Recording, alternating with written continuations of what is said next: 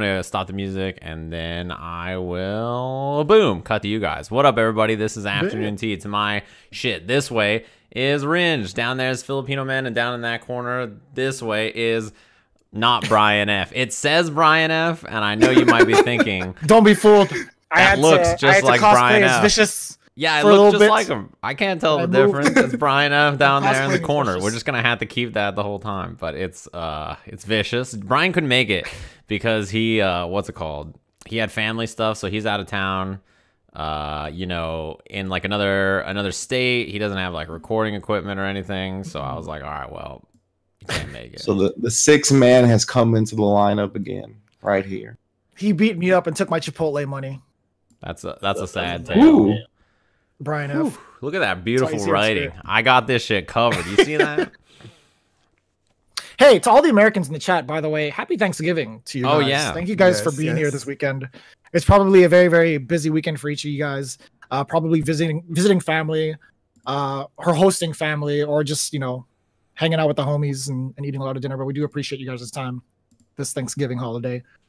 Uh, we got a lot to talk about, actually. We do have um, some three pretty big finals coming up. We do have Capcom Cup, Tekken World Tour Finals, and the uh, DBFZ World Tour Finals happening early 2020. But Yeah. there's been so many events this month that kind of uh, put a lot of people in, in certain scrambles, and it's it's led up to uh, some pretty interesting positions for some of the individuals involved in uh, said tours. But to kind of kick things off, we had the North American Regional Finals happened uh, two weekends ago Go over Marv. at the HyperX Esports Arena. And I'm pretty sure you guys were all watching that as well. Anton, you were actually there trying to finish your homework. Rynge was there watching the stream. S- Uh, Majas and I were uh, in the uh, the stink booth, was what it was. Bro, oh, Do you? I don't know if you guys have ever been to the esports arena in Vegas, but it has a condition. I don't know how else to describe it, but a condition. At a certain moment in the day, there is a sewage issue in the venue. boy. If you guys have ever been there, you might know what I'm talking about. So just like halfway through the day, it will just smell like raw sewage in the mm-hmm. upper floor where the commentary desk is. So like we're in the middle of commentating, and I just turn and I, Jeremy like hits me, and I'm just like, and I go and look at him, and he just mouths to me, and he's like. He's like, did did you did you fart? Did like he's like trying to ask me in the middle of commentary. He's like, bro, like I put my microphone up because something assaulted my nose, and I was so upset that I thought it was Steve. And I was like, "Bro, you did not just hit me with the gross shit." So I slapped him, and I'm like, slap me. Did you did you fart?" Like I mouthed it out so like as much as I could, and he was just like, "What?" And I was so upset. I put the mic down. I was like, "Yeah, Steve, that's a great observation." I just kept going with whatever we were commentating. this place And is it was cursed. it was awful. cursed with stank, bro. It always smells like super bad in the middle of the day. I have no idea why that's the case, but like somebody from production was like, "Oh yeah, there's like a sewage situation, so like sometimes at random." I'm like, "You guys know about this shit and you just it's okay? Like there's just a sewage leak. It smells like eggs." It's been like that since Capcom Cup. I'm pretty Yeah. sure you experienced it during Capcom Cup as well. During Capcom Cup, Logan was like sitting there and he just goes and he starts looking around and I was like, bro, I, I don't know what the fuck you're talking about. Like it's crazy. And then like I was like, oh, like I was like, oh, it smells so bad. And he was like, yeah. So we asked him about it and they were like, yeah, this fucking sewage situation is real bad over in uh, esports arena. I have no idea why. So if, if you ever were listening to commentary and then halfway through people stopped talking, it's probably because it smelled like the underbelly of a fucking sewer. And all of us were Mm-hmm. it was just like, really "Oh." tough. How long did it linger for though? Like it was a solid like 10 to 15 Yeah, I was gonna say because once 15 it hit, it stayed forever. and it was 15 minutes so sounds about bad, right with me. That's a whole two matches. That's crazy. It was so it's very it's very salting to the nose, and I I, I had to I had to stop. I really did. And I was like, please carry me mm-hmm. because I can't keep it together. dude it was like crazy because the smell was so assaulting and i could tell it threw jeremy off because he was just like in the middle of commentary just like like the way he's like you know what i mean it's like you know mortal kombat fatality that was jeremy on commentary he's like it was bad, dude. It was so bad. Nancy I had to like keep myself busy and like distract myself from the smell because I have a very like keen sense of smell. and It sucks. Uh-huh. my man was stunned. All attacks had advantage. bro he was so hella bad. stu- he was dazed he was swaying and shit mortal kombat fatality and i was over there like my sense of smell is not good so i was like it's not so bad and then it crept up and i was like ooh if i can smell that if i like can smell that we're in trouble this place is fucked up. I was like, that's no good. Yeah, on top of that happening over at uh, at the Narf, it wasn't too bad. I mean, we got used to it throughout the day, but uh, we do want to talk about the logistics of what went down with Narf. There was Mhm. a couple ple- people who clunched, uh, clunched, clunched it, clinched their spots into Capcom Cup, uh, which is pretty pretty cool to see. Smug being one of them, making it back for his second year into Capcom Cup. But what I do want to talk about is what happened afterwards and Yeah. during, actually. Um, so let's talk about day one. Um, there were, I think, what like 16 setups overall Mhm. maybe 16 to 20 setups on the side and then you had like the main Yeah. stage. Uh, one of the biggest issues that I've heard from uh, majority of the players were that there were there was significant lag on all the setups, Mhm. which is a big problem. Yeah, and I think it's like, well, Anton can attest to this. He played on them, but like, I think it's because the I don't know what monitor they were using, and I don't know what the setup was like for those matches. But you and I can speak t- about the stage setup when it comes to punk suites and everything. But like, what did you think playing? Like, do you know what monitors they were, Anton? Since you played in the They were tournament? BenQs. They were the BenQ monitors. Banky monitors. Okay. Yeah, but from what I heard, like they, they were playing on skinny PS4s, which already attribute to the lag, especially when you have the purple characters. So, you know, characters like F.A.N.G and like Menat, which I did Oh. have to play. So once I activated V Trigger and he was in V Trigger, like the lag was very apparent. It like Yeah. stopped the game. I see. really? Like yeah, and we were playing on like one of those ring stages with everything that's going on. So like the lag was very obvious. And from what I heard, there's people that were having their capture card on the setup, like Yeah. capturing games. So I don't know if they like set it up correctly, but all, all that together made it super duper laggy and it just wasn't working out. Yeah, and I I had heard that people were saying it's lag, but you know how it is, right? Like it's like an old wives' tale. Every time someone's like, "Oh, it's laggy, bro," like you never want to believe them. You're like, "Oh yeah, I'm sure it was lag." hmm Like it's always some kind of excuse that you just accept. And so Punk, when he played against NuckleDu, Jeremy and I are commentating the finals, and he just starts complaining. And Jeremy and I both know he's complaining that it's lag. But on commentary, we're like, well, we don't know what it's gonna be. Like, oh, some shit, shit's going on. We filled for like 30 minutes in grand finals of us just being like, so guys, you know, how would you get a big check away from this tournament through the airport? Yeah. Wouldn't that be Yeah. wacky? Like, we're just talking shit because we got nothing else to do for 30 minutes. So, um, you know, Punk was complaining about stuff, and then he tweeted after, like, fucking, like, okay, if you're gonna tweet and complain about a tournament, you got to be specific. Punk's tweets were the worst. He was like, "Fucking shit venue, fuck you, Capcom, I hate you guys." Like, you know, it was like the stuff he was tweeting. I was like, dude, you got to be specific about your issues. You know what I mean? He didn't tweet. The setup was laggy because of this, this, and this. He just tweeted, "I hate you guys. I'm never coming back." I was like, "That's not a good tweet." You know, you got to be more specific than that. So Yeah. Jeremy can attest to the fact that the console was plugged in to the internet, right? So that's one thing. It's plugged into the internet for an offline event. And the second thing is it's downloading Apex Legends. Dude, that was so stupid. That happened Ugh.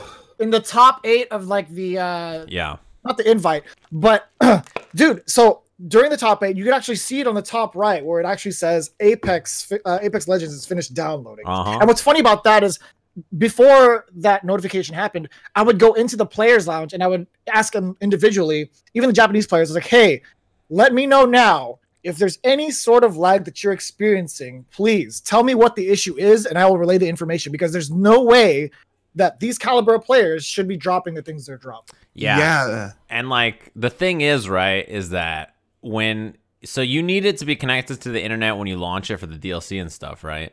But it doesn't mm-hmm. need to be downloading updates. You can like turn all that off. It doesn't need to be updating Apex Legends and updating Fortnite and like downloading the Call of Duty. Like it doesn't need to be patching all these games. So like mm-hmm. I was on commentary with Logan and then I just see in the top left corner Apex Legends version 3.18 like or whatever it was like finished downloading and I just like as soon as it happened I just see Logan go. Yeah. Like it crushed I his was- spirit. I, could was next tell. to the I was next to the cap cops and Yeah. they were livid and they were like, get that out of there like ASAP. It was it was pretty bad. They were like yelling Yeah. it. They're like, yo, I cannot believe this is just happened. Because on Friday, we I also helped out a little bit. We stress test majority of the machines.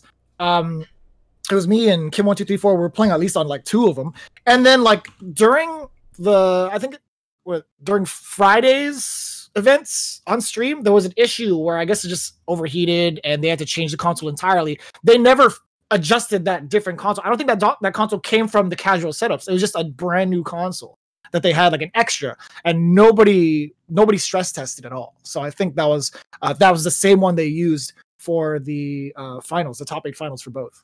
The problem is they didn't really outsource where the setups came from. They just used literally they just used the ones that they loan out at the esports arena. Like you can play all day on that setup. Which, Oh, which so, is why like- it has Apex Legends and Yeah. Fortnite and like all these other games that you know if you go to Mhm. esports arena, you know they gotta have a bunch of games on there, right? Like FIFA, it's just got a bunch of random stuff. That actually So- brought up other problems. So like because of that, they they all have the same account. It's not like when you play on gaming generations or like Capcom setups, they all have like separate accounts, right? Like separate email accounts for each setup. But this one this one was sharing the same account to every single PS4 in the there's 20 Oh seconds. shit! So like like infectious and Justin Wong were fighting, and Justin was winning. And you know, Poison has to work hard against Zeku. Like every hit, hit every hit counts. Yeah. And while they were playing, Justin Wong was like very ahead. Set uh, blue screen, blue screen, blue screen comes up, and they were like, Esports Arena has logged into a different PlayStation 4. Oh, no. That is completely that that's just a momentum breaker, especially when you're like controlling it and like, oh, I get another chance to get all my life back. Yeah, because you can't just oh, like be like, so well, sad. Justin wins, he had a life lead. Like you have to Yeah. replay it. I'm pretty So- sure Infectious didn't smile about it. He has no- infectious win. no, that's infectious, infectious one, but but but he was like he was not happy about it, but he was not sad about it either. There was Yeah. no no emotion there. Well, that's just him. Yeah.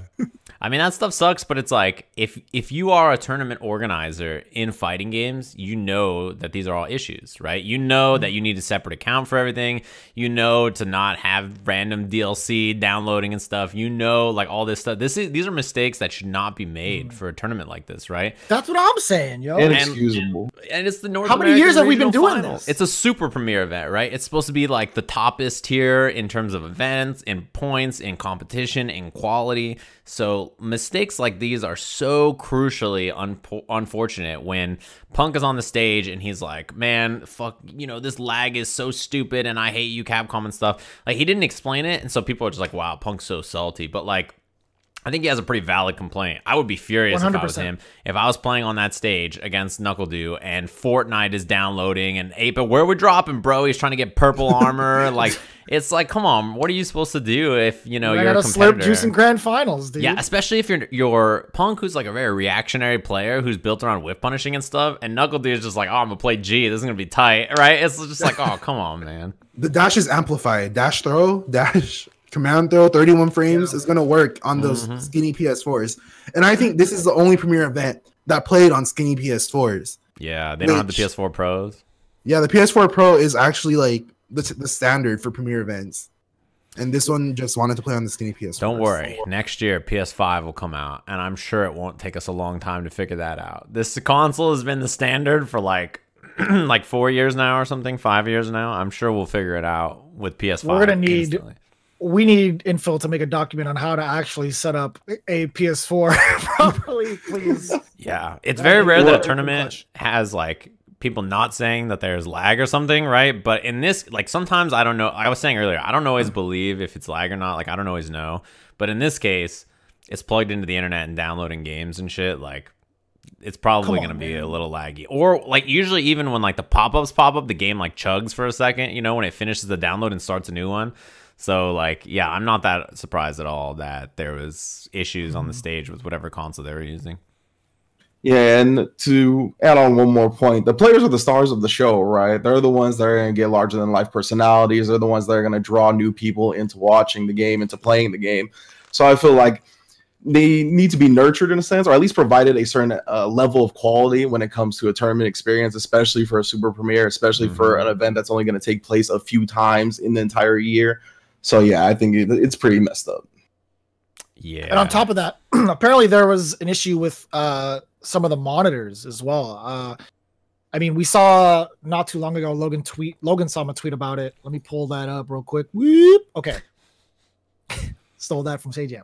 Uh, he says so. I've I've never got to like fully experience this. Uh, I've played on like a couple of monitors myself, but he says So now that Zowie BenQ don't sponsor anyone anymore, are we allowed to talk about the fact that their unpowered HDMI pass through was never acceptable for head-to-head setups because it introduced lag and their audio out for headphones wasn't powered either, so was low volume? Question mark. I didn't even actually know about that issue. In the follow up tweet, he talks about like something, right? He says something about like powered HDMI So- or something like that. He says that as like a standard monitor, like by itself, rather than like the stream setup, because there are like certain head-to-head setups or whatever. Mhm. or actually maybe I'm mistaken, but he says as a standard monitor they're fine. But he also says shout outs to the stream producers who would hide powered HDMI splitters under the table and fake using the HDMI pass through so we could play with a lag free head to head setup on stage. You're the real MVPs. Yeah, the thing is, I've heard conflicting, like Moss said in the chat, I've heard conflicting situations here, like whether the HDMI powered whatever it is causes the lag or like the pass through or whatever it is. But I've heard people say that there's certain ways that, so there's like two ways to do head to head setups, right?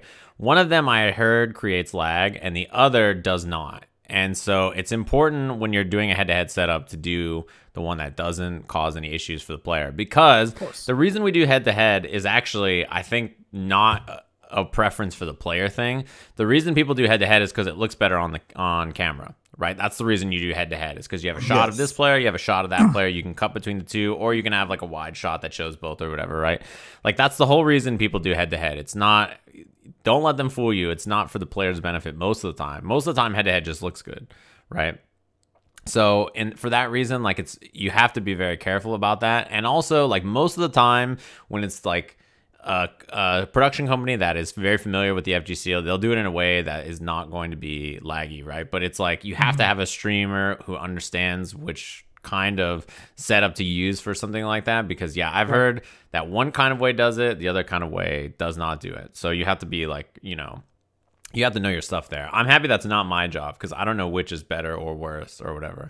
I know like someone like Spencer who runs the stream for 10 would be like, okay, A great me- job at that. yeah, he- he's a mad I mean, he has it like set in stone. It's like, all right, option A for the single monitor and two players, and option B, he's got a down pat. But that's the thing, right? You need to. I feel like with TOs, on top of like having the stream setup organized uh, down to the T, they also should be setting up their PS4s correctly. yeah, that's just Yeah. I don't know. That's it's basic for me, at least. yes. I feel like there's there's just a lot of problems with the BenQ because I remember I actually have a picture of it. Um, they were trying to start a match, and it was a match at Red Bull in um LA. So Oh, I don't know if got the this is gonna show up well, but like this is what happened. Like you see how it's like Oh, dude, yeah, that happens happens so many times. constantly. what the Like, it hell? matches where it like blurs out, and I don't know if that's like a power issue or if it's like Oh. a cord issue. So That, that's that specific distracting if it happens during a match. It was not just that specific monitor. It was like four different monitors. What the hell? that monitor was that's the one I beat Yipes on, by the way. Shout out to you, Yipes. Um, but it's my guy. Wow. so the main, the main finals monitors uh didn't experience that issues, but all the casual setups did. I was like, dude, what is this? They can't practice on this. But yeah. that was That's that was so it wasn't a it wasn't a BenQ monitor. You know, it It was just it just reminds me of Combo Breaker being like really worried. Like Rick's like, man, we're gonna have to raise ticket prices by like thirty dollars or something like that, or twenty dollars. This is so unfortunate. This sucks so bad. And I'm over here like, man, you're one of like two people who can run a damn tournament on the planet. All right, if you can just run a tournament, I'll pay whatever the extra money is to go out to. Narnia, the pheasant run, or wherever the heck it is, to go play in this event if it's going to be well run. If everywhere else in the world can't run a tournament without lag or without the head-to-head setup being messed up or with the monitor being broken or you know without sound or whatever like the hmm. situation is, I'll just go to like the tournaments that you know actually get these things done. Willing to pay the surge prices on Ubers. Dude, I'm saying a hail mary to the GGPO gods for that one. That is that is a rough time. Yeah, so that happened not too long ago with Narf. We said our uh, our grievances. It was a pretty cool event though, seeing all these players come out uh, and seeing the final results too. and you guys can check it out for yourselves at Capcom Pro Tour to see the standings. Yeah. Uh, to kind of switch gears a little Yeah. bit, we had the DBFZ. Oh, okay, wait one second, one second, one second. Sorry, sorry, sorry, sorry. Because I was the only one that watched it on stream, so I true. think I should probably talk about the viewer experience a little. My bad. Oh yeah, yeah, yeah, yeah. Oh yeah, absolutely. So there was just like a few issues that I took uh, with the viewer experience. One was the audio. I thought the audio was super weird. Uh, I didn't I- get you to told watch me this. Yeah, I didn't get to watch a lot of the weekend because I was at Arc Revo finals, but I did get to see a block with Logan and Sajam where Logan was much quieter and they had like a noise gate on the audio. So when the commentators wouldn't talk, the music would go up, and then when the commentators talked, the music would go down for the in-game sound. What? Yeah, so the What? in-game sound like adjusted depending on if the commentators were talking or not, and like that felt super weird. So I don't know if people also experienced that, but that's something I noticed, and I just wanted to throw that in there as something I did not like. That is so strange. Uh, yeah, I mean, I honestly don't have no idea because I wasn't there. But I, I, a lot of people in in the chat right now are saying the same thing that the audio was worse than normal. So yeah, that sucks.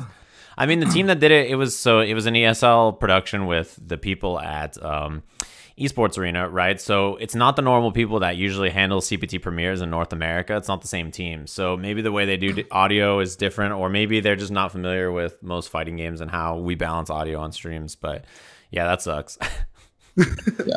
Sorry about that, Jeremy. Go. No, it's cool. It's cool. Uh, we did have like a, a reveal after with with. Narva. Oh, the other thing, real quick, sorry. Uh, we did interviews at this event, and I thought interviews were like a cool idea, but not always like well implemented. There was one time where we were sitting there, and Logan and I were off camera reading the top 24 matches coming up or whatever. Oh, that's right. And as yeah. we're reading the top 24 matches, we get through all the winners matches and we go to start talking about losers matches. We're like, yeah, losers, this one is going to play and that match is going to play and this is going to play.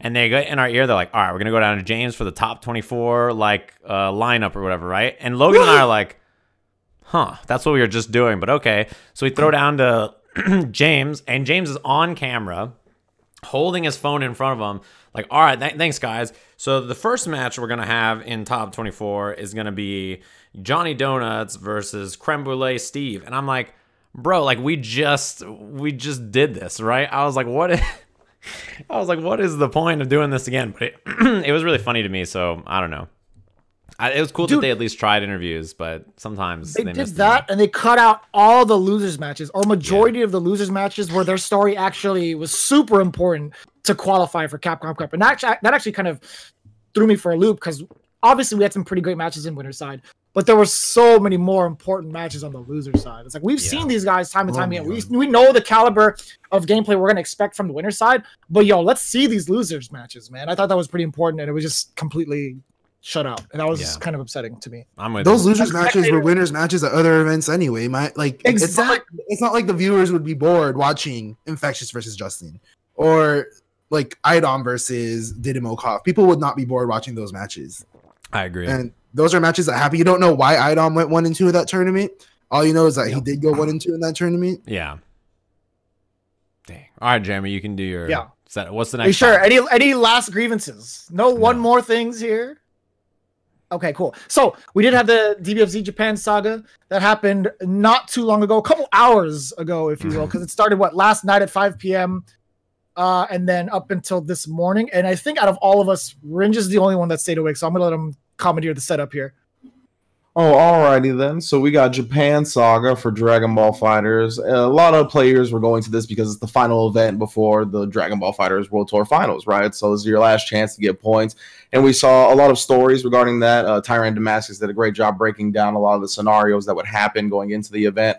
So we have the final standings now coming off of that uh, saga where Wawa actually took first place after losing to Casanova in Winners Finals 3 1. He came back. I don't remember the actual grand finals count, but I know he did take first place. And uh, I saw a Sage tweet that he believes the three Saga winners are the three best Dragon Ball Fighters players in the world. And that's something I agree with uh, Goichi, Sonic Fox, and Wawa. Uh, incredible tournament, uh, as per usual. When this game gets to the highest level, uh, the matches just always deliver. Uh, so big ups to everybody that competed in that. And I'm looking at the standings now. So the big story I think coming out of it, if regarding the points, is that Seo and Tachikawa were both tied with 270 in that 15th position. So top 15 qualify, and then they have one more event at the finals for an LCQ for a 16 man bracket. So Seo had 270, Tachikawa had 270. So from what I gathered, Tachikawa tweeted, and I mean it's a Google Translate, so you got to take it with a grain of salt. But from what I understand, they looked to the Saga placings uh, to determine who would actually qualify between the two. And Seo got 13th at Red Bull Spain and 33rd at Red Bull Japan. And then uh, Tachikawa got 17th at Red Bull Spain and 33rd at Red Bull Japan. And I think the big outlier here is that Tachikawa, I checked the brackets before this. Uh, I feel like it's a mistake, but it doesn't seem to be. He went 0 and 2 at Evo. Uh, Oh. Yeah, and Seo wasn't went 17th. He got 17th, so that was Yeah. a, a big deciding factor. Someone in the chat said that it was because Seo just had more points from uh, what's it called, Saga events. Saga events, yeah. Oh, Tachikawa didn't go to Evo because he was sick. Yeah, that's the reason that. he Oh, okay. So he they, didn't have they didn't points list him as DQ'd in the bracket, so I Yeah. just assumed that he lost both of them. But That's that's, the thing. That's the thing that it that's like I don't know. So it- this is a good example of something that came up with CPT as well. Is I don't know if there was rules ever stated for what happens if two players get tied at fifteenth. Uh, I don't know if that's in the actual rules because I remember CPT had the same kind of rules come up in the finals at NARF where they're like, okay, well, in the case of a tiebreaker, this is how it works. And those things weren't clearly written in the rules from like the beginning of the year. It was kind of like what they're like, okay, well, this is how it works now. So I think like, you know, it's clear that they have like some kind of rules n- now, but it would be nice if those were listed at the beginning of the year so someone like, you know, would know if there is something like that. But yeah, as far as the saga went, look, if you guys are Dragon Ball fans, you probably know, even if you're not actually, you probably know about Goichi versus Sonic Fox as being a very fun rivalry, a very interesting rivalry to watch. But I would encourage you to go back and watch at least like the top three of the last two saga events as well, because even without Goichi or Sonic being like the star of the show, in particular in this last one, neither of them entered. They are mm-hmm. both so good. Both the tournaments are super, super fun to watch. Wawa is a treat to watch. I think he's one of those players that just makes the game look so fun. dude, the emergence of Wawa is definitely the story of 2019 for me in Dragon Ball Fighters because obviously, like, it's just such a good like spice to throw into the pot that was already brewing, right? Because you mm-hmm. have Goichi just unstoppable, right, running through tournament after tournament after tournament, and then you got this guy Wawa emerging who gives him a run for his money at one of the the big events in Europe, and then Sonic winning the Spain saga over Goichi, making the God bleed finally, and then Wawa securing that That was last so saga event. sick. I think was just like a, it's a perfect storm coming into the finals. Like I'm Yeah. so glad Wawa won. And like the three best players being from three separate regions, the US, EU, and the Japan. Like it's all so good.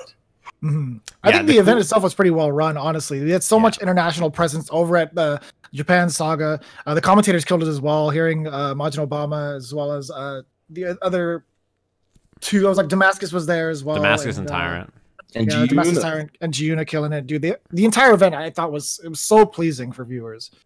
I agree Yeah. because usually J- Japanese events are not a pleasure to watch on stream. Yeah. Like we, we stay on Nico Nico quality, and even this one, even if they had a mm-hmm. few blips where they had to show like the monitor instead of the big screen, like even that the, the match continued, and I feel this is a big step up for Japan, and I'm happy for mm-hmm. Dragon Ball Z having the hypest event. Shout out to Super. We got that. Yeah, that was really exciting, I think too. And uh, what's it called? The cool thing for me is like like Rynge mentioned that uh, it's interesting to see the three champions from three different regions, but it's also cool that there is uh, what's it called? If you look at the the leaderboards, the amount of players from Asia and the amount of players from the West qualifying is actually split pretty well. It's like a nice breakdown mm-hmm. between the two. So there's two Europeans and like five Americans, I think, that qualified. And then there's mm-hmm. like seven Japanese players and then the Singaporean player in Seo who qualified over Tachikawa.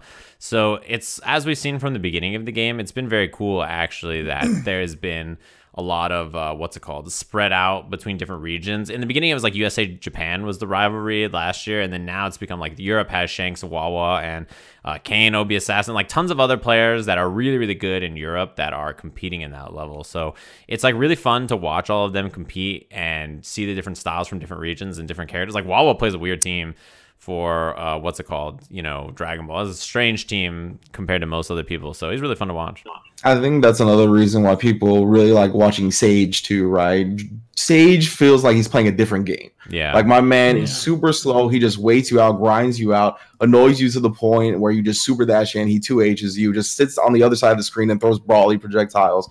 It's uh yeah, it's really fun to watch the distinct styles that the players have come up with. So somebody on the chat asked about the standing. So I'm gonna pull them up really quick, actually, for those of you guys who are curious. So Go I'll show the it, go. standings on the stream here. Whoop. So this is the final standings for Dragon Ball. You can find this on dbfzworldtour.com slash standings.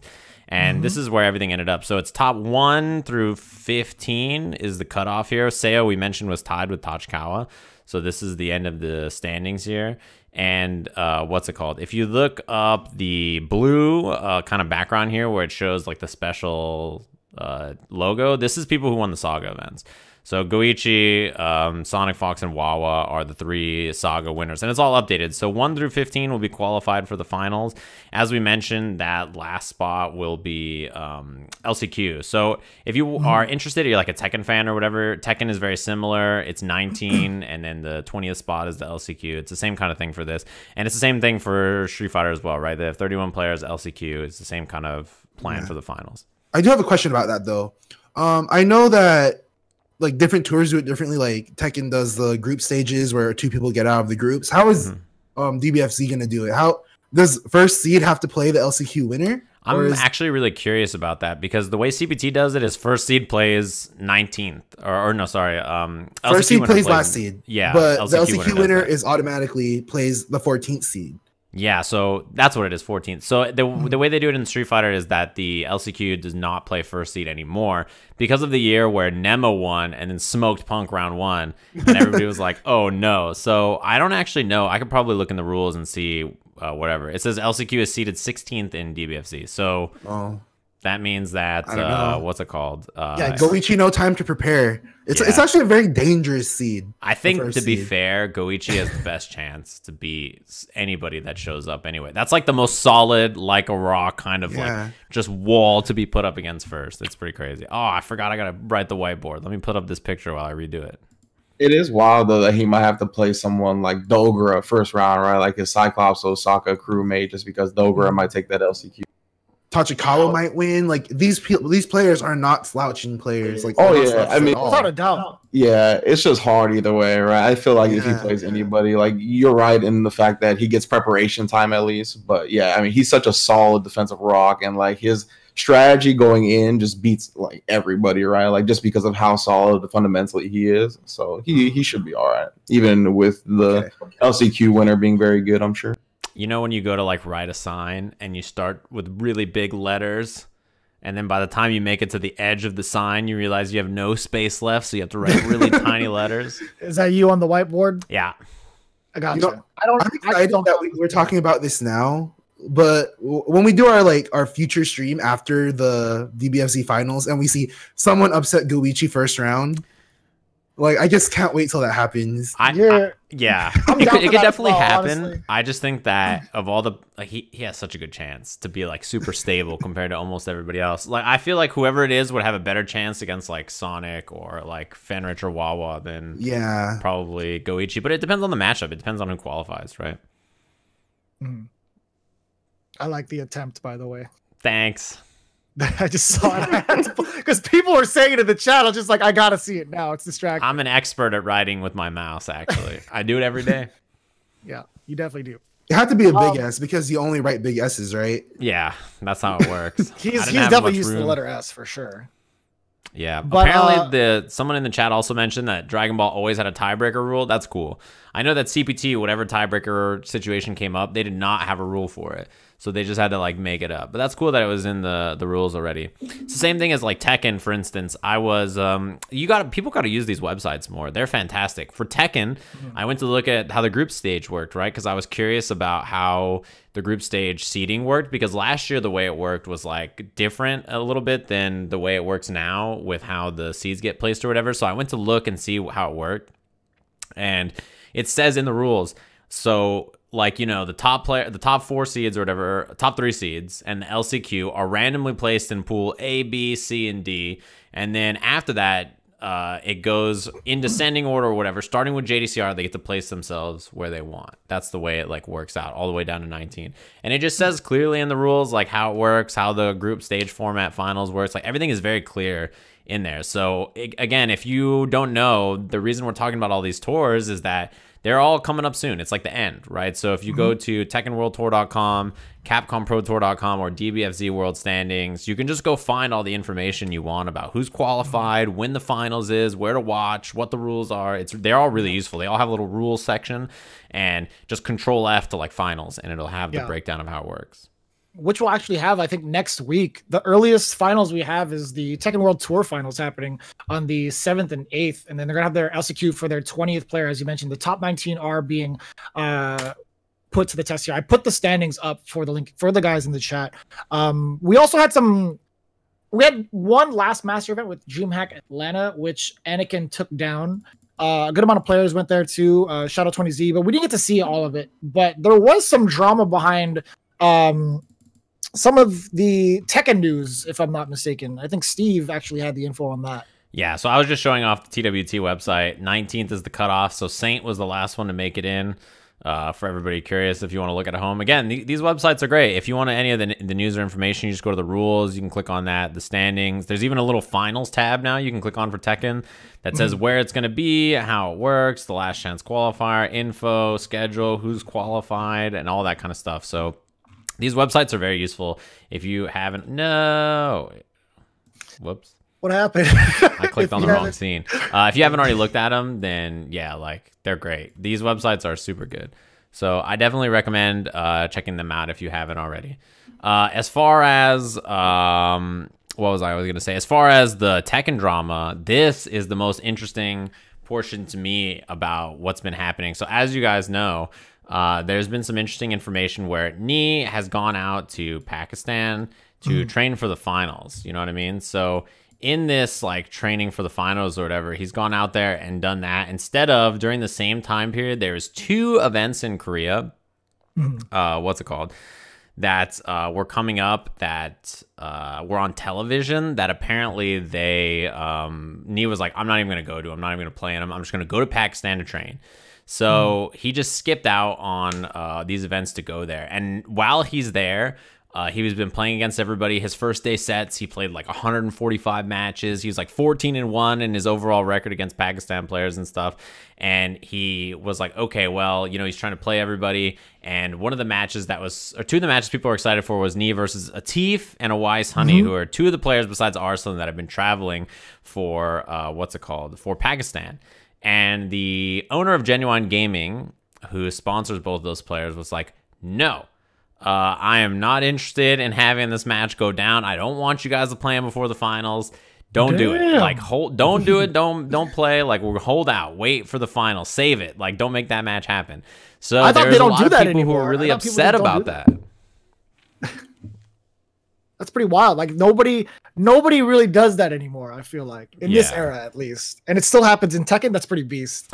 Yeah, I mean, to be fair, like if you really think about it, Knee went all the way out to Pakistan to play these guys and stuff. And I'll be honest, if I was them, especially people who are like in the tournament, in the finals, mm-hmm. I wouldn't want to play against them either, right? Like you have the advantage of being the player who is beating Knee, which is like humongous, right? And you that he wants you to play against him so he can train.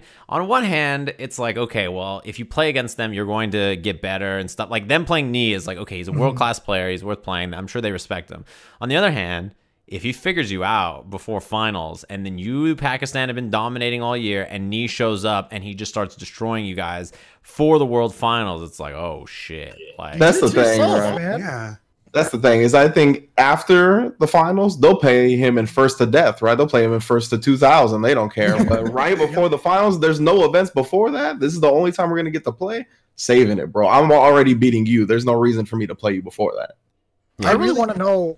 Sorry, go ahead, Anton. I was gonna say I just really appreciate that they're actually thinking about going to Pakistan to scrim, and I mean like fighting games Oh, don't really yeah, have the yeah, yeah. scrimming at all. yeah. So like t- for them to go out and go to practice, like that that like makes everyone better. That makes Pakistan better. That makes me better. And I understand saving it for nationals, especially now that the Tekken World Tour is now at two hundred thousand. It's not a measly nine thousand dollars anymore. It is No. two hundred thousand dollars, and me Big is a contender to win. Arslan Ash is a contender to win, uh, or Honey is a contender to win. All of them need to save their stuff. And you're right, Rynge. After they're going to play the first two thousand, but right now it's all about that money. And I agree Yeah. with that. Two hundred fifty thousand dollars. Yeah, it As went a- up by like another player, it's fifty different thousand or something like that. So it's at two hundred fifty k or whatever, which is huge. Whew. It's it now matches the CPT prize pool, which is like a two hundred fifty k flat, and then it has the whatever comes in from the CPT revenue as well on the um the I forget what it's called the po- crowdfunding. So yeah, it's a big chunk of change. Thanks to I believe Astro was the main sponsor putting in a lot of that money, which is really cool. So the TWT Finals has a lot of money on the line, and look, a two hundred fifty thousand dollar purse for winning that event is humongous, right? Like it is huge. If I was me, I'd go to Pakistan too instead of being on TV because you win two hundred fifty thousand dollars. Like that goes a long, long, mm-hmm. long way. And something like, well, it's like yeah, first place is probably one hundred and fifty or something or seventy or whatever the split is, right? But that money goes a long way. And the other thing is being the world champion is like a big deal. It's like winning Evo, right? The prestige of winning an event like that is not just the money, but the media presence that comes with it, like television opportunities. People come to you and they want to talk to you, interview you. Mm-hmm. They want to shoot documentaries. Like you, you gain a huge following. People are interested. Like there's a lot that comes with winning an event like that. It's such a big It's- deal. And Knee was like, I want to win finals. Like I want to win finals. I don't care about Yeah. TV. That's something I love about me. He's always looked at the bigger picture, right? He's the guy that was grinding out every single character so he can have counter picks, not just sticking to one. And it's like shown that he's had that mentality about every single thing when approaching Tekken. And it's super sick. He's going to Pakistan. He's not taking these paydays on TV in Korea. He just wants to get as good as possible. Yeah, it's not just it's not just about gaining the small Twitter cloud. It's the big cloud and the big picture. yeah. Not even And the cloud, but just the prestige of being a champion in a game that you love and put so much effort into after all these years. Like we have so many more newcomers, like a huge emergence of players uh these last couple of years, right? And he still wants to be on top. He's like, I'm ready for any of these newcomers. I don't give a damn. I put too much time and effort in this game to be one up by anybody else, and I'll prove it to you guys here. I think having that status is way more than any any amount of club. yeah, Yeah. I think it's really cool. I'm like a big fan of it. I'm glad Tekken has become so undeniable in gaining new players, even though it is a four year old game. Yeah. like, yeah. people are still getting in. People are actually breaking their way in. People have been playing for a year, getting to that level, and then practicing, practicing. I'm glad that it's showing how fighting games have evolved throughout the years, even though it's been pretty much the most legacy game out of all the games out there right now. Yeah, and that's what's interesting too is like Tekken has just continued to grow that viewership and um, new players and stuff, and people are more and more interested in it. So I'm really excited for that. Gee, who the hell dropped a million bits? In Yeah, we gotta Holy we gotta give a shout out to I Will Rider for ten Thanks, bits. That's a full tub of ice cream for Steve. Yeah, I'll use it tomorrow. And all of us. Yeah, I'm doing- ice cream party. I'm doing a potluck, so I'll use it to buy buy ice cream and uh, snacks for everybody. Uh, Nice so work. thanks. For Jeremy particularly, Jeremy, you know, I forgot that his name's not on the overlay. Well, it is now actually. It's written in beautiful writing. So, uh, what's it called? Gorgeous. I will um, I'll handle it. Thanks, man. Um, as far as uh, not playing the other players, I don't blame the owner at all. I heard that he said something along the lines of like, "I will do it if the fans really want it," and but like he kind of feels the pressure to do it. But on the other hand, I don't know, man. like I'd be like, "Look, man, there's a lot of money on the line. They're trying to trying to like win the finals. I don't feel like it's like a big problem to be like, nah, I don't think we should play. You know? Yeah, I think from a viewer perspective, it does suck, right? Objectively, you're not getting the best player versus the best player, like just straight up. But like, if you're a person that has a chance to really, these players that you're managing really do have a really good chance of winning the entire World Finals. You got to make that decision. What's best for them in the long term, not just Right. for the mm-hmm. viewer right now. Yeah, exactly. You don't want to just like make the decision that's like, oh, this stream people really want to see it, and then at finals you lose. You know, the difference between first and second is like thirty or forty grand or something, and you lose thirty or forty grand because the the viewers were like, "Hey man, why won't you play Knee, bro?" It's like, oh man, Yeah. like what are you even gonna do in that case? You know, so I think you have to do you have to sort of do what's right for you as the player in that situation. Mhm. You can definitely see both sides of the argument, and everybody Yeah. has their own like opinions on it. But uh, they got to do what they got to do as pro players, man. Like Knee's side, totally understandable. Uh, Awais and Awais Honey, and just them kind of save it for nationals. It's totally understandable as well, Yeah, especially with their if they're under an organization or a team. Yeah, You you know know the Tekken Goombas are though. The. Tekken Goombas are like, where are blah blah? I can't believe you. Where's Christie and where's the wise honey? You know what I mean? They're like, Christie, They're like, They're like, "Where's Christy? Where's the wise honey? Where's Melina?" It's like, oh god, no. I can't wait to see them play though. Like once once it happens, it's gonna happen what in like seven days, dude. It's coming up so quickly. It's next weekend, the first weekend of December. I hope you guys tune into TWT finals. It's gonna be sick. I'm really excited Yeah. for it. Um that with that, do they have DLC coming out after that? Yeah, They yeah, haven't Leroy announced Jenkins, anything, bro. right? Or no, they had the the features and stuff. Oh, Leroy Smith, my bad. Yeah, they had all the features and Leroy and stuff. Tekken has always done the playable now thing. They've been like a big fan of that. So that's my imagination that that's what's gonna happen. Uh, I did called? see tweets though where people were begging for Chrissy. Of course, the Chrissy sounds came out of the woodworks, and someone was like, "I can't wait to see their faces when Michael Murray and um, Harada release someone else or like announce someone else." And then Michael Murray, Oh, of course, has to reply saying that, "Don't worry, I got you." Yeah. So I didn't see that. you know how it is, man. It's always like there's always some kind of situation like that. Michael Murray has moved into the position that Harada used to be, and I feel like he has abandoned the motto of that position. The old model was "Don't ask me for shit," but Michael Murray is like, in fact, do ask me for shit, and I will get mad on Twitter and reply and stuff. He's taken the wrong stance. He's really got to beat these Goombas down. I think that he needs to go back to "Don't ask me for shit" because as soon as you start to mm-hmm. give in a little bit, an inch. It becomes a mile, and then take now a these mile, motherfuckers dude. are asking for Christie. Dude, Harada worked so hard to establish that as a position. Dude. Don't ask me for shit. How are you gonna? Do? Michael Murray is like a bartender. He's like polishing a glass. He's like, "Oh, what would you like? You want some Christie? You want some Leroy? Oh, frame data. I got you." I'm like, "No, don't do I don't know if you guys saw the Harada tweet this week. I don't know if it was this week or last week where somebody was like replying to him in Japanese. He's like, "Yo, shut up and say it in English." That shit was so it was sit down and shut up. And Harada was so like, good. "Look, was bitch, you don't speak tweet. Japanese. He still has the don't pip use it." strong. He said he said um uh, something along the lines of like uh, don't use this robot Japanese on me, right? Like cuz it's Google Translate. Like, Don't use this robot Japanese on me, bro. yeah, it was pretty. It was pretty awful. But he still he still has that position. He's like, "Don't ask me for shit. Talk to me like a normal human being. Don't fake it." Yeah, that's the the stance that the, you should have because as soon as you start to engage in a way that's please ask me for stuff, it's no good. That's when it's bad. It's like you got these robots on the internet yelling at you and stuff, and you're like, oh man. Oh, somebody actually, Junko actually pulled out the tweet. I told you to communicate in English or shut your mouth and sit the hell down. Shut your mouth and sit the hell down. The thing is, is Bro. that like it's like Aris's stream, right? Where like Oh, he beats his viewers down and they love it. And that's what Harada has created. The don't ask me for shit thing is like the the viewers know like I we can't ask him. like if I ask him he's going to yell at me. So they can't, right? When they do, Harada flames you and he and everybody loves it. So that's why you, they need to stick to that. So that way when people get out there and they're like I can't believe blah blah this this and that, you're not like, "Well, you bring up a valid point, you know, maybe I should add Christie and Leroy and all that." You're just like, Yeah. "No, shut up. Don't speak to me in this broken Google Translate English." It's pretty awful.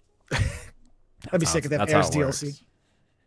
Aris DLC in Tekken would be hilarious. I just want his laugh to be like the round announcer, like every time the round. As he, every intro, you can't skip the intro. He just walks in, he's just looking around, and then it's a little chuckle and he fights. when you That's lose, need a it's like the Tekken Aris in rage videos from Tekken Tag 2. It's like, don't you ever do that. I'm down for an Aris just costume. His his shorts, his black shirt, and his the black Issues. dickies, The, the, Dickies, black the socks. Dickies shorts, yeah.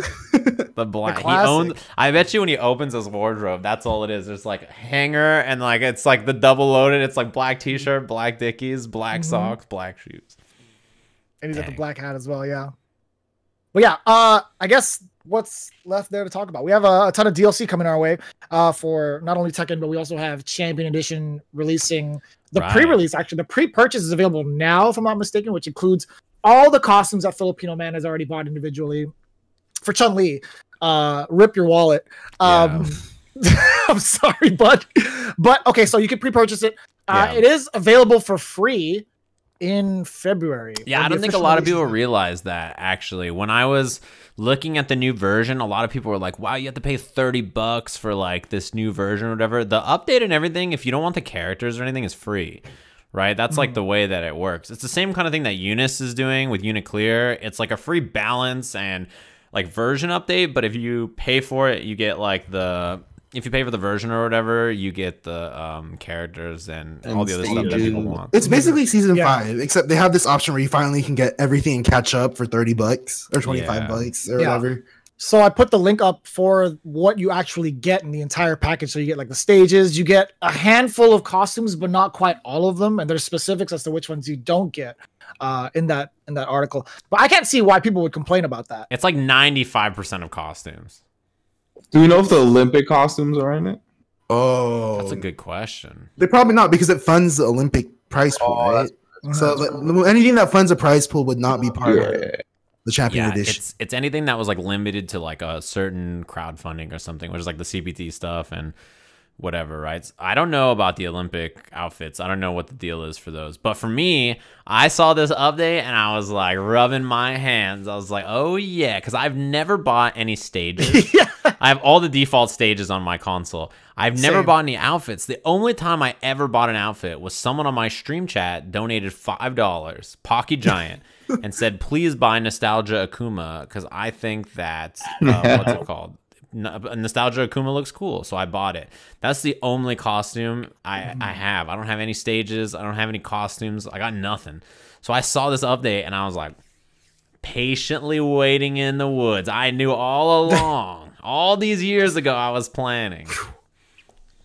I'm gonna have to things. put on my tinfoil hat for that one. Oh man, he's actually got the tinfoil. So Who's Anton, ready? Okay, you you're famous for buying a couple of costumes. Listen, How many versions of the game have you bought all the costumes for?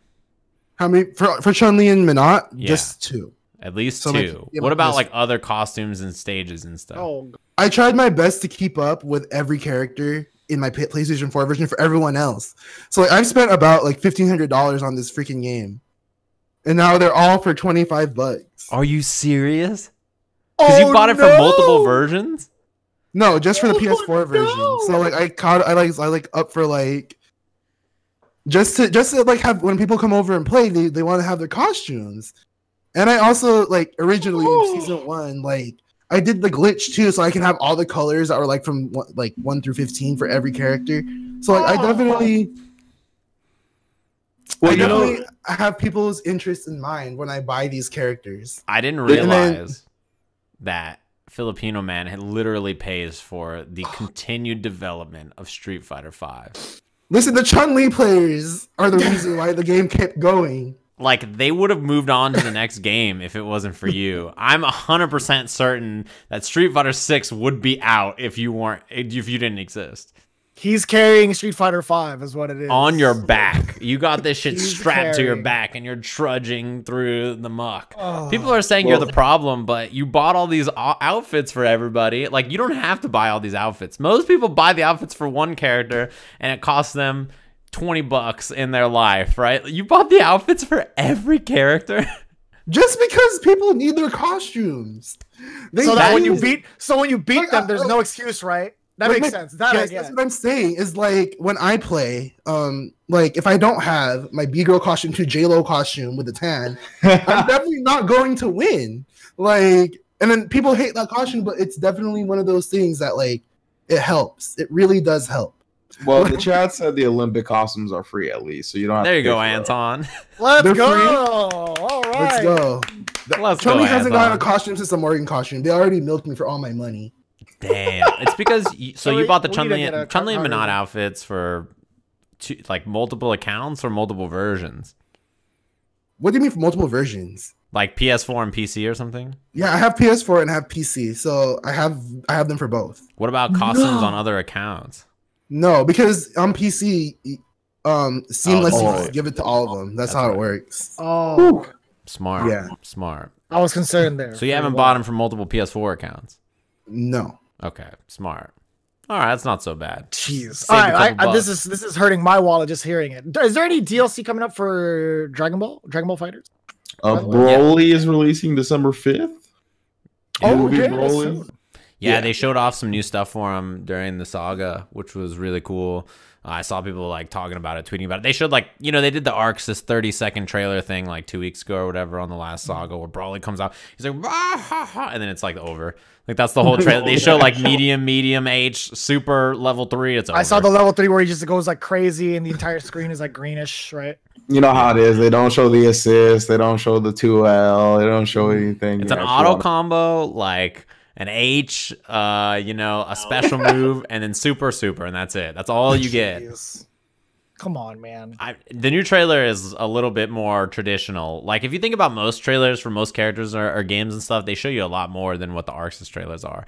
But they they definitely showed a bit more in this new trailer. I think finally they were like, you know, people have been complaining for like four different versions and four different games now that our trailers are too short. So like mm-hmm. I don't know, you know, maybe we should think about this or whatever. So yeah, I mean, it's fine. I also yeah, yeah, somebody in the chat brought up that there's like leaked footage or leaked uh you know stuff about Dragon Ball Super Broly or anything. I haven't heard anything about the new version of him or anything like that. I don't know anything about that. I didn't see anything like that. I just know that there's a trailer. I don't know any of the new stuff. Yeah, I haven't delved into the lead gameplay stuff so far. We shall see when it comes to Broly. But then we got Gill as well, right? Not just uh, the costumes and the stages for Ooh, champion. Yeah. Yeah, that's Gill cool. looks tight. That character looks sick. His super is incredibly cool looking, and Seraphim he's voiced in English yeah. by Liam O'Brien, the legend. And um, in general, I thought he looked really interesting. And not only is Gill a character they showed off, but they showed that there was new V skills and not new V reversals. I'm sorry.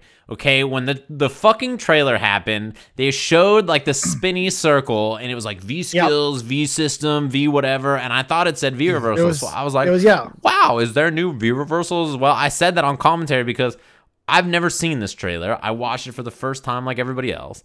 And as soon as I said that on the internet, I saw people like there's second V reversals for every character and everything. And I Look you've rewatched the done. trailer, there wasn't. So then obviously, like everybody's like, there's a second V reversal, and everybody's like, no, there's not. And they're like, wow, Capcom, you lied. And I was like, oh god, I gotta just get out What of here. I'm just gonna pretend like I never said anything. I thought they copped out a lot on Gill though, because the super's cool. Seraphic Wing was really, really cool. But I really don't think they should have went with the white um ending. I think if they did fire and ice and just had that super with fire, ice, and lightning, that would have been so much more sick. But I love the effect on like the angel wings floating into the background. I think it just mm-hmm. looks so cool. I agree that fire and ice is his thing, but that Yeah. super looks so cool. I think in 3S it was sort of like a weird screen. It wasn't white, but then also like rainbows, like circular rainbows would come out of his body Yeah. as he hits you. Yeah. And I'm actually kind of curious to see if well, what happens if you block it. Does the actual projectile still come out and and chip you for that much damage? Because It in can be 3S, even even like the playable version of Gill, like when you had like the PS2 version and you actually like unlocked them, you can do uh Seraphic Wing, and even if they block, they still take like a ton of damage, like 200, 300 damage. Gill is like an old I man hope not. character. I have no idea what he does. Yeah. So uh yeah. he's not a charge character, by the way. Yeah, I know that. I'm, I'm calling sick. it right now for those that are still in disbelief. He's not a charge character. But I was they actually did a reveal on uh Capcom TV on YouTube. They were going through the character. Uh they were talking about his retribution mechanic where if you hit uh, both sides of Gill in a certain combo, you get certain effects, right? It's either like more stun, uh, like a wall bounce, a knockback. It depends on what side you hit him. But there's like two effects for each side, if I'm not mistaken. It's the side you mean fire and ice. So if you hit like a fire move and then you hit an ice move, he gets a retribution, which does something Mhm. special, right? That's like Depends on what you hit him with last, I guess. Yeah, so if you hit ice into fire, it does one thing. If you hit fire into ice, it does another thing, right? So it's just two different Mm-hmm. effects. So the fire effect is like the burn effect on the V trigger from Dhalsim or something like that, and the ice effect is like Kolin's ice effect that freezes your stun bar or whatever. Those are the two things that it does. So he, he looks really cool to me. I think that idea is really like fun, right? It's like a very fun character design to have that kind of mechanic in in uh, design like this, and that's the kind of stuff that I wish they did a little bit more of, right? Of just making this really interesting retribution mechanic for Gill. Uh, to me, the the idea about it sounds really cool. I don't know how it'll work in practice, but it's interesting to me. I'm just so happy he doesn't have like an EX headbutt. Like, I'm just over it. What's your fucking does- problem I- there, Anton? Have you ever seen? Wait, wait, wait. Did he not do a headbutt in the trailer? Because I really can't remember. at No, point. he, didn't. He dropped. He didn't. Okay. no headbutt. so that that kind of uh brings me to my next point about the two characters with uh Urian and Gill. A lot of people were saying, "Oh, well, Urian's going to be obsolete." A lot of the older players were saying that. I'm like, no, I don't think that's the case at all because Gill's moves are going to be significantly different. The only thing he'll have will probably be the fireball. Certain normals will overlap. Uh, I don't know if he has a knee drop. He's got the tackle I and think the he knee has. drop. The tackle, and knee drop. Okay, it's gonna. don't I uh, feel like you could treat it kind of like Ryu and Ken. Yeah, someone Yeah. said they had they had a three frame too. They did like the frame breakdown of like the trailer. so there's a three frame, but there's no there's no uppercut. This guy Sajam. He's like, you're right. Urian is obsolete. Three, three frames. By default, there. You don't realize that having a four frame button in Street Fighter Five is like being in jail. Like there's nowhere to run. You're just in a small white room. There's nowhere to go. Like you just there's a toilet and there's a bed and that's all you got. You're And part you of the just problem if characters like Gene Urian get buffed. a three frame Yeah, char- a four frame like, character. You don't realize how difficult that. You know it is to live in this kind of environment. I do like I do think that they did say there's going to be 40 characters too in the next version. So there will be one more character uh, by announced. February. Yeah. So who do you think it's going to be? Well, everybody keeps saying that the, the leak reveal is that it's going to be Seth or whatever, right? Mm. Which uh, Seth sucks, man. I, I don't want Seth to come back. Nobody remembers fondly Seth besides Seth players, right? Tell me, anybody remember Seth and be like, I can't wait for me to get hit by cross up jump heavy kick for f- a billion stun into SPD into whatever. Like Seth in that game was such a nasty character, and it was made for nasty humans. See, but like the thing is, like from what, What I've heard mean? from the like from the aliens that have spoken to me is that very reliable aliens.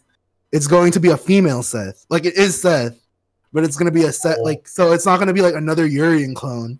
It's going to be a female Seth with female characters' moves. Well, That'd be sick. that's No, even that'd be worse. dangerous. All the female characters have these. No, that- I just realized- I just realized what I said. Steal. They're I don't good. want this at You got all, man. Karin's what are you normals, talking Laura's about? command grabs, Juri's whatever.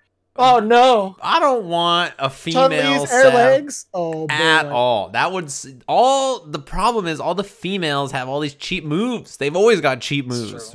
She's gonna have R. Mika's- season one air legs, Lady Mika. Armika EX That's shooting what I'm peach. saying. Monot Oh, Orb, you know, like all these crazy oh moves. damn! It's in her stomach. She just Jumpy it out. X Just Kunai from. Ibuki. No, absolutely not. I'm doing a Hail Mary to the GGPO gods and hoping this character does not make it in. Give make You've picked the wrong gods, dude. give me something else. Like uh, I don't know, anything else. It's either make a character that's really cool or someone that I don't like that sucks. That one of the two and I'll be perfectly acceptably happy. I don't know. I don't know what they're gonna do, especially because of the Olympics. Like, is this all, is this the last character for Street Fighter Five? Are they get? They said they have a special announcement in line for the mm-hmm. Capcom Cup in two weeks. Like, what is that Oh. special announcement? On top of that, even if they say it is Seth, right, and she's completely busted, they're not looking to patch any sort of like exploits out for the year 2020 in Yeah. line with the Olympics because they want to make sure the gameplay is is remains exactly the same for everybody practicing, which can be very very dangerous. By the way, that was confirmed in, a, in an interview with Ono. I mean, remember Uh, what happened with last month. Tekken? They were like, all right, here's our September patch. We're dropping it. This is the patch you'll play finals on. And then two weeks later, people were asking Michael Murray for shit because he's polishing that glass, you know, instead of just leaving. and they were like, well, hold up. Akuma turned out to be a little powerful. Maybe we should do some teeny little adjustments there for Akuma or whatever, right? And that's the same kind of thing that happened with Dragon Ball where they dropped the patch and they're like, this is the patch you're playing on for this season of DBFZ. We'll add in DLC characters, but this is the version.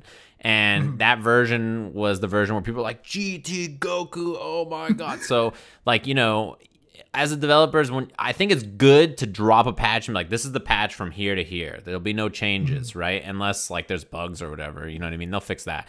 But no balance changes in this time frame. I think that's a good idea to allow people to sit there and really delve into the the game and figure out what these characters do and figure out this version. But you just mm-hmm. have to be a little careful about like, you know, you don't release a patch where, you know, uh, for some reason X or Y characters are just absurd and you're like, damn it, what are we gonna mm-hmm. do? yeah, I mean the the main characters of focus would definitely be just like Seth and Gill if you know it comes true. So it'd be Gill and whoever the 40th character is. Uh actually I'm I'm kind of I'm kind of down for that. Just to have them completely broken. Whatever, it's fine. I just Just- don't want Just break every be character, make it a Seth. Marvel yeah, game. make them make them all mad good. Whatever. I don't want it to be Seth. I don't want it to be Seth Arella. I hope it's like uh, uh, Oro or you know uh, Abel Eagle. Why not Eagle? You know Eagle's cool. What?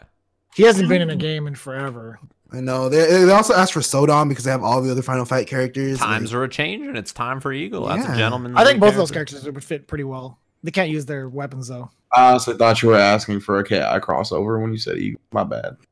Jump and Ah. arrow. That's who, Eagles. Or did you look them up? That's on me. Look them up. Tell me Eagles That's are on cool. Eagle from uh, Street Fighter One made an appearance in CVS Two. Oh, this guy looks tight. He is. Yeah, Yeah, but he He's can't- got the double Dude, he's the- Ooh, ooh, ooh. Oh, yo, he's so cool, but and he fight his I don't know, sweep. man. He's got a cool scar. oh, his double, his like, yeah, the sweeps. You guys in the chat room, Google Eagle CVS and go look it up. That character is really tight. Mhm. I really like this tinfoil hat, by the way. Yeah, I'm, I'm so glad you mad you came prepared. We were in this call for like 15 minutes before the show even started, and I never saw this. I had no idea that this tinfoil hat was waiting off to the side. I should have came with some props. I messed up. I, I I needed some what's I called. I needed some protection from all these haters. I see. Jeez. Hey, yeah, real I mean, quick, You I don't know needed how much your time wallet needed have. protection, bro. I'm worried for you. it's too late. It's too late for that. The damage is already done. Um, do we have time for predictions of who you guys think is going to take it? I want to ask um Rynge for his thoughts for DBFZ. Who he thinks is going to win? DBFZ, Steve- Tekken, Street Fighter, the triple threats. Let's do I was gonna say I was gonna do one after one by one. I'll say Anton gets Street Fighter, uh, Steve you get Tekken, and Rynge gets DBFZ. What about you, you wiener? I'll get Street Fighter because that's all I got. what do you mean? That's all I got. What do you mean? What do I mean? It's No, early. we all so- gotta pick everyone, bro. How about we it's just do all early, three? Like so all I think we should one all each. do all three. Just Yeah. who, maybe who we want to win. It doesn't have to be an educated opinion. It's just who we Okay, want cool. to win each game. Thank God, because I have no education. But hey, do you want to do that now or after you run an ad? Uh, no, we'll do it now. I'll run one at All the right. end. Okay, cool. Let's do it. I was about to say, I was like, I don't know how. it's Uh, a podcast. how We just do the were. podcast. It's fine. all right. So, anyways, uh, let's go with Rynge first. Let's do Street Fighter Five. Let's go with Tekken. Jeremy first. Actually, I think Jeremy Okay. should start. All right. Well, I'll do it in order. So Tekken is coming up first. Um, to win it all, that would be pretty cool to see Arslan Ash do it because of how how much of a fan I became after watching his Tekken run at uh at Evo. Um, so I personally would like him to win because his story is just is phenomenal and the things he's been doing for the Pakistan community. Um, for Street Fighter Five, Smug. No, I was kidding. Why not? That'd be tight. Why not though? Yeah, it's it's tight, Smug man. is Smug is great. Smug's the homie. I'm glad he made it in. Um, I would like to see Big Bird take it. Um, Mm. also for the same thing, really. He's been leveling up his Zeku and his Rashid year after year. He had a really, really solid run in in 2018, and then seeing that performance between him and Bonchan, as well as just him taking down what was it, EGX, uh, is maybe kind of a big fan. So I like Big Bird for Street Fighter Five. As for man, for DBFZ, Kazunoko's my guy. Kazunoko's my guy, dude. Kazunoko I- always with- has. Back to back would be something else for sure. Yeah, I Young love. That's my guy, dude. He's my. He's been my senpai since Street Fighter Four. You So- young players, man. Yep, we stick together, baby. Loyalty, loyalty, loyalty. Who's next? Uh, I can go next actually. All right, who do you want to Um, win? So for Tekken 7, I like the Arslan Ash story, but I like one story even better, and that's my man knee snapping everybody out of existence. oh. That's what I'm talking about. I want Knee to take the whole thing. Like I said before, he's been looking at the big picture this whole time. I want to see a payoff with the biggest Tekken tournament to date. I want to see him win it. So I got Knee for that. Uh, for Street Fighter, so I got some exclusive info for Street Fighter. All right, I'm a, Ooh, I, I, you know, Punk. Don't be mad that I'm dropping this exclusive info, but I gotta drop it. All right. So World Punk's plan for 2020 is to become a restreamer and commentator, much like you know Sajam or some of the popular personalities you're familiar with when it comes to Street Fighter Five. But to do it, he has to win Capcom Cup, and I think this is the year he does it. So I got Punk for Street Fighter Five. He's not going to do it unless he wins Capcom Cup. Oh yeah, Oh but- God. oh yeah. I hope he wins. There's that. And then for Dragon Ball FighterZ, man, it's so hard because I think Sonic is super focused and locked in on Dragon Ball right now. I don't think he's too concerned with MK, and that's kind of where he gets a weakness when he's focusing on other games. Then Goichi, of course, has just been looking so dom- dominant throughout the year. I think before Spain Saga, I would have said Goichi, but man, I think the kid might do it, man. I think Wawa might do it. Hmm. So I'm, I'm gonna go with Wawa. Okay. Those are my picks. So I'm gonna go next. But it's gonna be boring because Are you gonna keep your hat on too? of course, of course, Hell of course, yeah. of It's because this Filipino Oh. man already has all the answers, so he's like, "Well, I fuck it." so for Dragon Ball Z, I think Wawa's going to win. I think Europe needs to win one of the three events, and I think the event that they're going to win is Dragon Ball Z. I think Goichi and Sonic Fox have played out their saga, and this is going to be Wawa's turn. So Wawa also has home field advantage because it's in France. It's in France, yeah. Wawa is just I- like I watched him play last night. It was very exciting. I think he's gonna he's it's very unorthodox, but it's still part of the style. So I think Wawa is going to win Dragon Ball Z. For Tekken, I think Knee's going to win. Knee is I'm actually a big Knee fanboy. I think Knee is like the best fighting game player like ever. Like like it's just I think he's that good. I think he has mastery of every character. I think he's gonna learn something for Akuma. He's not gonna lose to no Akuma BS from the Pakistani players. He's not uh-huh. going to lose to anyone else in the top set, like top 19. I think Knee is going to win Tekken. Mhm. And then for Street Fighter, I think Punk is going to win.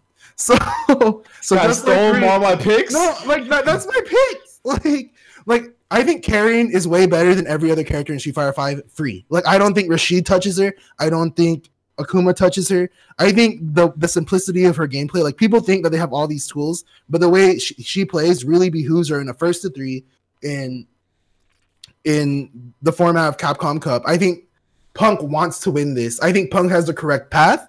I think he's going. He has the 32nd seed in Menat. He's going to beat the Menat, and then he's going to beat Machabo because that is a bad matchup for Necalli. I think he just has the path to do it, and I think this is going to be Karin's year. So that's my picks. Dang. All right, I, I like those. those. have the same picks. Well, for Tekken 7, obviously I'm going to go with the person who has been training the hardest, who looks the most focused, and that's JDCR. Uh, he came to my house and he was hanging out with my dogs and eating a lot. And so I think that he is prepared both mentally and physically for the TWT finals. Uh, and I can tell you his cooking skills, much like his Tekken skills, have improved lately on player one and player two side. He can stir with both hands.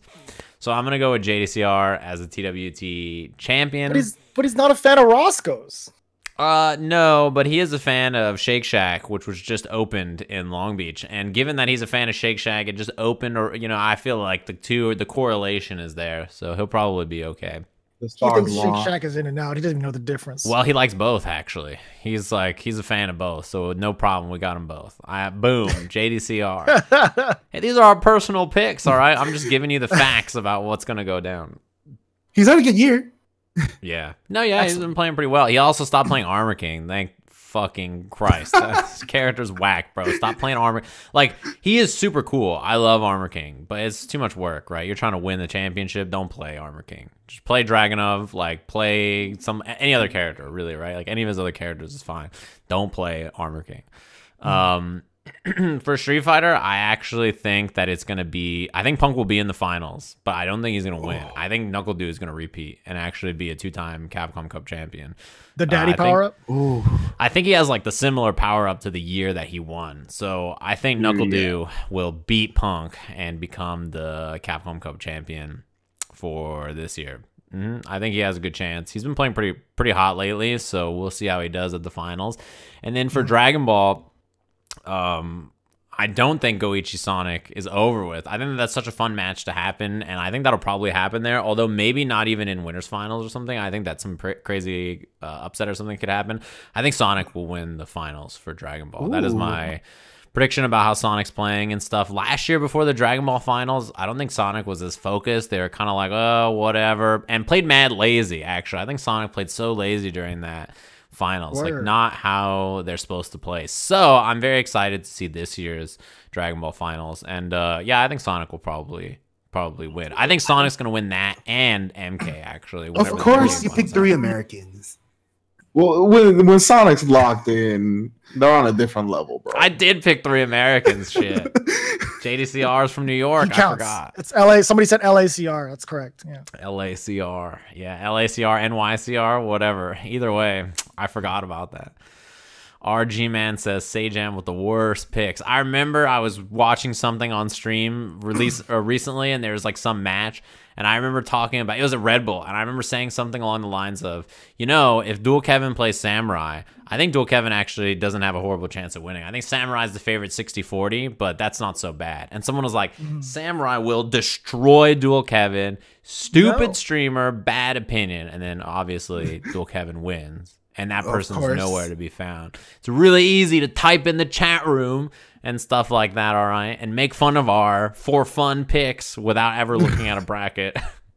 I think Steven is the best picker, or picker is probably not a good word, but like he he has the best choices once we get to top eight. Yeah. because he correctly predicted the bracket of season one. Like, like last two years, I Ricki was not the Ricki was having a win. good year, but she she was not having a great year like everyone else. But she was having a great tournament, and you predicted her over like Kazunoko and um Haitani at that point Mhm. and all those players. And then you predicted NuckleDu, and I didn't even think NuckleDu was doing that well until the end. Mm-hmm. So like you like saying this history of NuckleDu actually having the year that he had at the end.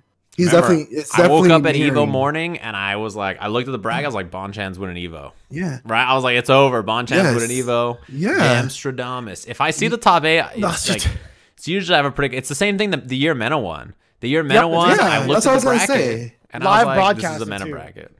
It was definitely a Mena bracket. Like the Zangief, like I didn't know that Zangief lost that bad to Birdie. I thought it was a five-five match. I thought like, of course, at that point in the game, I was like, all Zangief needs to do is get in ones, and Birdie Yeah. can't get out. Yeah. But apparently, there was so much more to that, and you were right. Yeah, so we'll see. But but that being said, I've not looked at the the final bracket at all. So my prediction, all these predictions are just for fun, right? So when I actually look at the bracket, we'll see how it goes. I'll do like a breakdown on my stream. And we were talking about whether we should do another show with all of us before the finals or after. It's most likely going to be after, I think. That we'll probably Yes. do another one to sit down and talk about all the finals and everything. Uh, there could be like a midweek one or something if we plan one. I'm not sure, but we wanted to do this. You know, we do it monthly. We picked November 30th.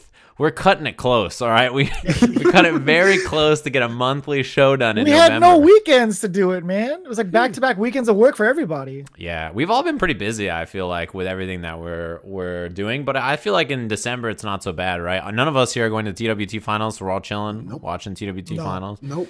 And then um, Capcom Cup, I think all of us will probably be around, and you know whatever. It's in LA, so it's like yeah, we'll probably all be Yeah. around. And then after that. I mean, not nothing really happening until like Evo Japan, which is only a month after that. so it's gonna come around pretty quick anyway, I guess. But yeah, we're uh, we're almost there. Oh yeah, that reminds me in the chat right now. AJ's posting the bracket. There is a challenge bracket for Capcom Cup that you can do and put your predictions in if you guys want to do that. I always do one of those on screen, and I always do a chat bracket as well, where I let the chat room vote on who they think is going to win. Last year, they voted that the finals was LCQ versus Daigo Umehara. So, LCQ. you know, yeah, LCQ versus Daigo was their grand finals. man. Hell yeah. Yeah, Hell LCQ yeah, versus Daigo was the chat's finals. That was really good. I don't even remember who they thought was going to win the LCQ. To be honest with you, I don't. Who won like, the LCQ last year? Oh, ZJZ. ZJZ. Yeah, I feel like ZJZ this year's won. LCQ is much more fierce. Like Oh, for sure. it's so crazy. You have every Urien player known to mount to landmine you, and then you have like Itabashi there to. Don't give me that look. It- Haitani as well. Haitani didn't make it, so he's definitely going to try to qualify. Oh boy, But, but I feel bad actually because there's a lot of Daigo fanboys in these streams and in Twitter.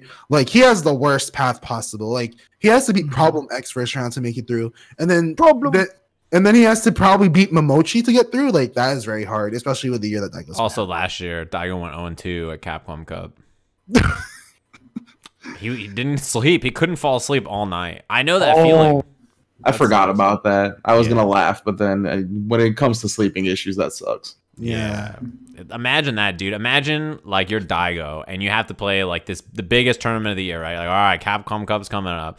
You fly in and you literally can't. s- You lie in bed and you can't sleep all night. You just go That show up to the tournament, zero sleep, play Punk first round, and go 0 2. Or Punk first round losers, actually, maybe is what it was. Mhm. I don't remember who he lost to in winners, but that sucks. Like that's why a lot of players fly out like a day or two early to try to fix their sleep schedules. And it's like an 8 a.m. call time or something, or 7 a.m. call time for the players. So you have to wake up early anyway. Yikes. I didn't know about Yeah. that. Oh, I think uh so it's like Friday is the LCQ, Saturday is when the top 32 starts, hmm and then that evening is like SFL. It's gonna be like the US versus Japan exhibition or like that. grand finals. Yeah. I totally forgot about that as well. I heard there's gonna be twists, but I'm not sure. If you heard about it, it's probably true because I don't I don't even know anything about it. Nah, I totally know forgot when it was actually starting and that I was actually doing it. I was like, oh shoot, forgot this was happening on Saturday. Yeah, I forgot. But that kind of like throws me off. Like I mean, we have some of the players in both the top 32 and SFL. Like I hope you know there's at least time for them to rest. Yeah, I always forget about that. It's like I always forget that the tournament is like they're the SFL tournament's gonna happen first on Saturday or during Saturday sometime during the LC or the uh, top thirty two. I'm surprised it's not like after the LCQ or during the LCQ before the top 8 or something. It seems to me like it would make sense to do the SFL portion while the pools for LCQ are happening, then do like Mhm. LCQ top eight on Same. something. That's how I would schedule it. But obviously, I'm not a I don't. That's not my job, so I don't know if that's a good or bad idea. But that's Mm-hmm. like what I would imagine the play would be. Uh, so yeah, it's Saturday and then Sunday's top eight. It's only top eight, I think. That's right. So Yeah. That's so it's it what goes. like that's like back to back weekends of finals. Again, next week is TWT finals. The week after that is Capcom Cup. Then we're pretty much big chilling. We're enjoying all our DLC up until DBFZ World Tour Finals happening in 2020. yeah, Right. I don't even think there's a. Did they announce the date yet? I don't think so, right? For the finals, I don't believe so. No. Yeah, because unless they announced it last night, they hadn't announced it before then. So uh, last year it was in January, like the middle of January or something like that in LA. This year, obviously, it's in uh, what's it called? Um, France. France, which is gonna be Oh, really yeah. sick. I can't wait for that. Like France should be incredible. I'm really excited actually to uh, see that. The other thing is that uh, yeah, someone brings up Red Bull Kumite is coming up. It's the weekend after Capcom Cup or the weekend, two weekends after, something like that. Oh, It's like right before snap. Christmas. So yeah, it's the weekend after. So it's like Red Bull Kumite, and then in January and February, it's like Frosty Faustings and Evo Japan. So like Yeah. the, the next three events that are a ways off. Yeah, and then uh the finals or whatever for Dragon Yeah, Ball for too. So and like Damn. KIT as well is probably around in that time. So yeah, fighting games still have a lot of stuff coming up. That's why I'm some actually happier that the fi- the tours start in like April and May now because like Yeah. they cannot start in March. It's too fast, you know. Yeah. And you got That actually makes me coming out in sad though. Because now that we got DreamHack Anaheim in February, that's going to be nothing again. It's just going to be another tournament for SoCal instead of another CPT event for SoCal. yeah, we don't really have any tournaments on the West Coast Yeah. right now. That's right. We really don't actually, yeah. But I I agree that it should start in April and not like so early. I feel Yeah. we need to get used to the patch before we give so many points away. California not having any tour events cracks me up actually. When we had like a Tekken event this year that was uh, not like a master or anything, right? Which NCR was a ranking event this year? Or no, it was a there was no SCR. no NCR. Oh, NCR. NCR was premiere, and then I don't think it was on the TWT. Yeah, I wasn't on Dragon Ball either. Dragon Ball hadn't started up yet. Yeah, so Mhm. Electric Cancel was like the only tour event that we had. I didn't know. It'd be like that. It do. All right, everybody. Yeah. Well, I think that's about it for our topics, right? Yeah, I believe Yeah. so. All Yeah, right, do we do so- our social media shout outs for Yeah. Who wants to start? Rynge. Sure, you can find me on twitter.com slash rynge with an underscore. I know they're doing the Twitter thing at the end of the year where they're deleting names, but that guy, I'm pretty sure, is still running his account. So I don't know. Oh, we'll hope for the best, cross our fingers. I do want to acknowledge I messed up Sonic's pronouns earlier too. My bad on that one. And uh, yeah, that's all. It's hard to remember. yeah. Um, you can follow me at Filipino Man, just spelled as you would spell it, not PH. F F please F. And you can F in the chat. F in the chat. You can follow my Twitter on Filipino Man with a zero, and or my my Twitch, not my Twitter. hmm and you can follow me for all of my amazing opinions. You guys will always have a blast listening to my Twitter.